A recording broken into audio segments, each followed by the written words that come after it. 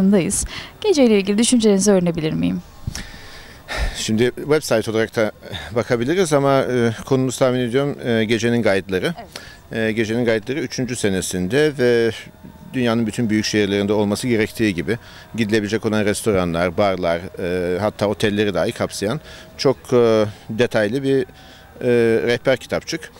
E, bunun içinde İstanbul'da gidilebilecek her türlü restoran, bar, işte kebapçı cinslerine göre ayrıldığı gibi e, onlarla ilgili bilgiler ve e, Gurme Kurulu'nun e, önerileri var, gidilip e, tavsiyeleri var. Bazı yerler öneriliyorlar, bazı yerlerin neden önerildiği açıklanıyor. Dolayısıyla e, gezmek isteyen insanlar için, e, dışarıda yemek yemek isteyen veyahut e, bir eğlence yerine gitmek isteyen insa- insanlar için son derece faydalı bir guide.